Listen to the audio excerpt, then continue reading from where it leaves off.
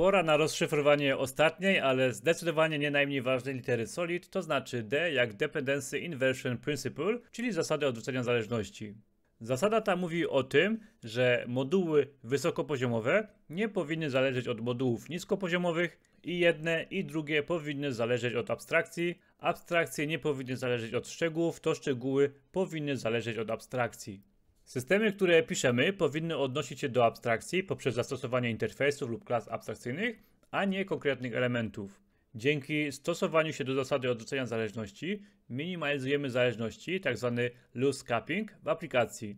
Dzięki temu nasze aplikacje będą bardziej elastyczne, a w przyszłości zmiany będą łatwiejsze do wprowadzania. Cześć, z tej strony Kazimierz Pin. Witam Cię na kanale Models Programmer, gdzie pokazuję jak zostać programistą .NET. Przede wszystkim zasada DEEP mówi o tym, że powinniśmy zmniejszać zależności do konkretnych implementacji. Najlepiej uzyskać to polegając na interfejsach, wtedy mamy w kodzie małe zależności. Interfejsy są stabilniejsze, to znaczy, jeżeli zrobimy jakąś zmianę w interfejsie, to ta zmiana jest powiązana również ze zmianą w implementacjach tego interfejsu. Jeżeli jednak zrobimy zmianę w konkretnej implementacji, to zazwyczaj nie potrzebujemy zmieniać naszego interfejsu. Co za tym idzie, interfejsy są stabilniejsze od implementacji. Dodatkowo, pisząc kod oparty na interfejsach, staje się on bardziej testowalny. Możesz z łatwością pisać do takiego kodu testy jednostkowe, ponieważ za interfejs możesz postawić jakąś fejkową implementację, tak zwanego mocka. Ok, przejdźmy od razu do przykładów. Na początek przedstawię Ci kod nie stosujący się do zasady odrzucenia zależności. Czyli mamy tutaj klasę employee, employee repository, gdzie mamy metodę add, która dodaje tego pracownika do bazy danych i employee service, która na podstawie przekazanego pracownika dodaje go do bazy danych za pomocą employee repozytory. Zdefiniujmy na początek podstawy, czyli czym są moduły wysokopoziomowe, a czym moduły niskopoziomowe. Bez tego nie zrozumiesz zasady odrzucenia zależności. W tym kodzie modułem wysokopoziomowym jest klasa Employee Service, a modułem niskopoziomowym klasa Employee Repository.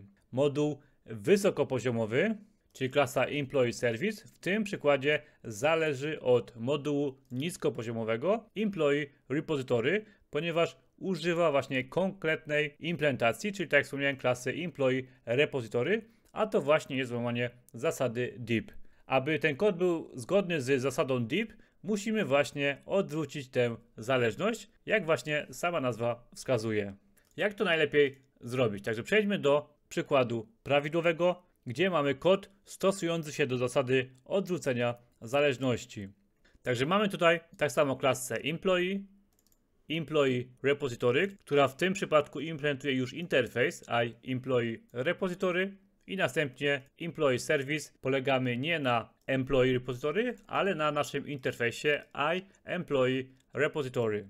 Także w tym przykładzie nasz serwis Employee Service nie zależy już od konkretnej implementacji Employee Repository, a jedynie zależy od abstrakcji, czyli w tym przypadku naszego interfejsu iEmployee Repository. Czyli teraz zmiany w module niskopoziomowym nie mają wpływu na moduł wysokopoziomowy.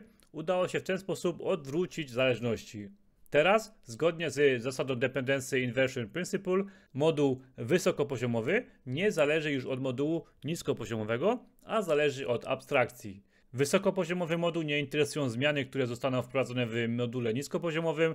Ważne jest tylko to, aby implementowała powyższy interfejs. Przejdźmy jeszcze do klasy program CS. Jak możesz zauważyć, klasa Employee Service przyjmuje w konstruktorze interfejs i Employee Repository, no i właśnie w taki sposób możesz na przykład stworzyć instancję tej klasy. Natomiast lepszym rozwiązaniem jest stworzenie również interfejsu iEmployeeService dla tej naszej instancji i tworzenie instancji nowych klas poprzez użycie kontenera dependency injection, czyli wstrzykiwanie zależności. Dzięki użyciu kontenera dependency injection po odpowiednim skonfigurowaniu możesz operować swojej aplikacji na samych interfejsach i rzadziej będziesz tworzył obiekty za pomocą słowa kluczowego new. O tym, czym jest i jak zaimplementować Dependency Injection, postaram się opowiedzieć bardziej szczegółowo w jednym z kolejnych odcinków. Głównym celem stosowania Dependency Inversion Principle jest rozdzielenie zależności modułów wysokopoziomowych od niskopoziomowych poprzez stosowanie abstrakcji.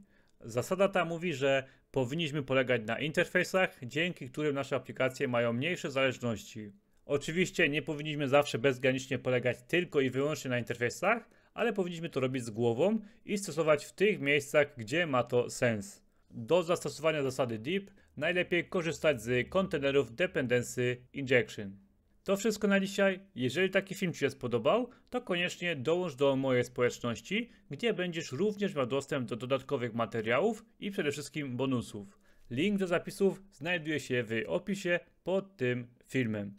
Do zobaczenia w kolejnym odcinku.